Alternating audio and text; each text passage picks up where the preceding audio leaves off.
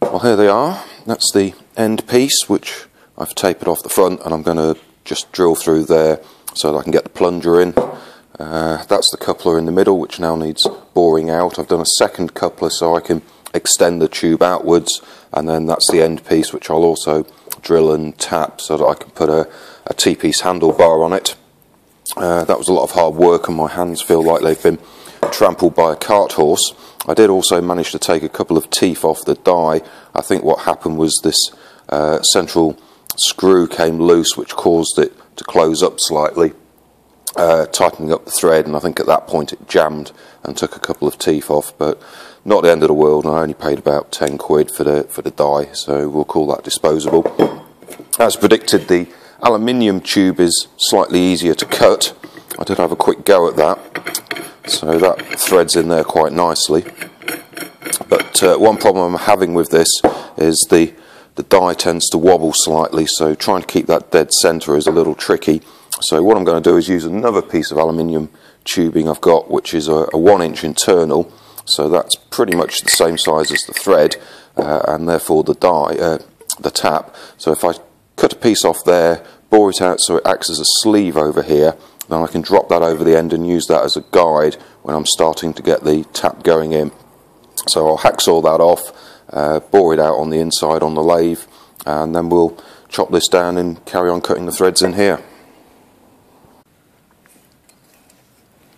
Going to make the uh, coupler about 4 inches long so I'll take 2 inches uh, down for the sleeve and then just a slight inside cut because that doesn't quite fit there so I just need to bore that down maybe 2 inches slightly on the inside to fit that and then 28 mil on this side.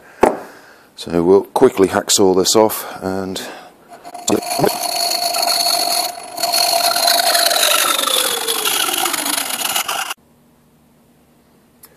I've got this so that it will go in approximately 2 inches 50 mil so this will be my end stop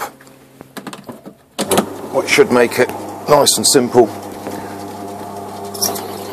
and the die measures out at 25.6 outside, uh, tap sorry, 25.6 outside diameter, and this is about 25.4 nominal on the inside. So I need about a millimetre off this, I think.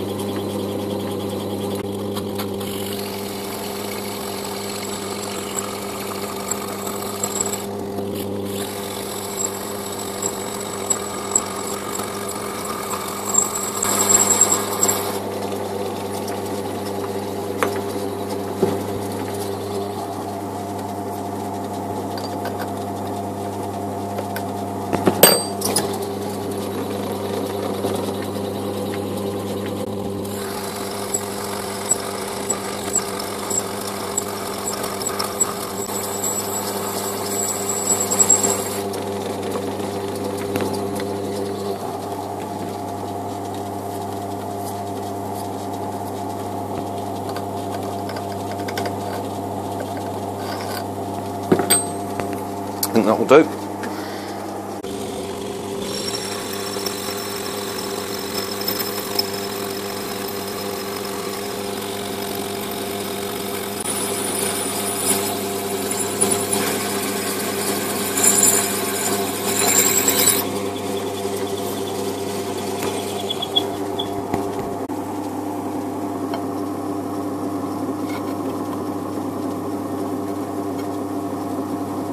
do. I think that'll do. Can always cut another one if it doesn't quite work. I'll call that quits. Go put the kettle on. It's a little bit loose, but I think I can live with that. And that will just do to keep that tap a little bit straight. So uh, chop a few bits off here now and give it a proper go.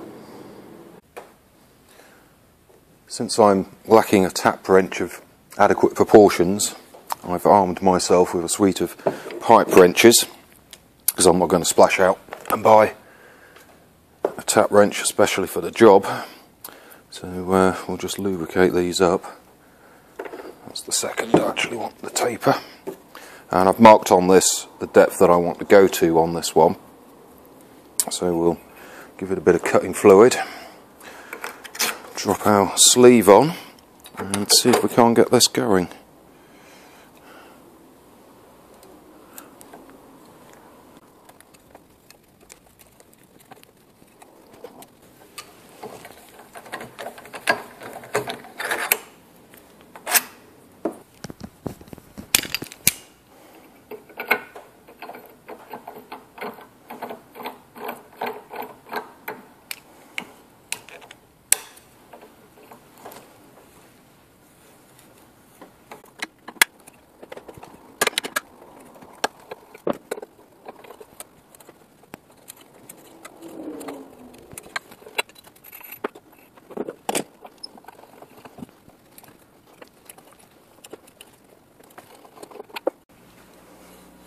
With a bit of luck,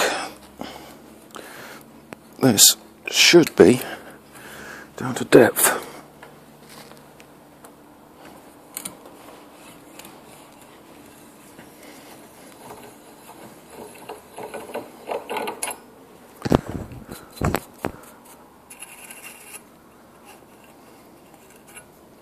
a bit of swarf in there, but we'll see if it goes down.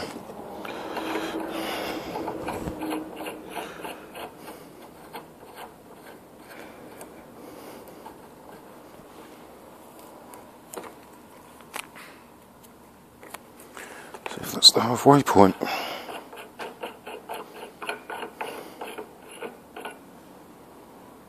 And yeah, not bad. I think by the time it's tightened up, that should be pretty reasonable. So we'll call that one done. And here's the sections so far. If I tighten it all up, there's the end piece, there's the other end piece. You can see how well this rolls, which is not terrible. There's a bit of a wiggle at this end I can see, but I think we can probably live with that. And if I screw it back together in a slightly different way, it might be better. Yeah, there's a little bit there, but it's not, not critical. So the next stage will be to chop out a couple of pieces here, one for the anvil and one for the firing pin. They need to be relatively accurate, so I might uh, take my time over that. And then I've just got to crop this down a little bit to fit in here, and then crop this down a little bit to fit in here. I'm deliberately making this section, the firing section, a bit longer than I need to begin with, because that will uh, basically means that I need less force to set this thing off. I don't want to. I can always shorten it to put more force into it, but I can't lengthen it once I've done that, obviously. So I'll start with this fairly long, and if necessary, I can trim this down and trim the spring down just to increase the uh, amount of force we get. But uh, so far, so good. starting to look like a, a useful tool.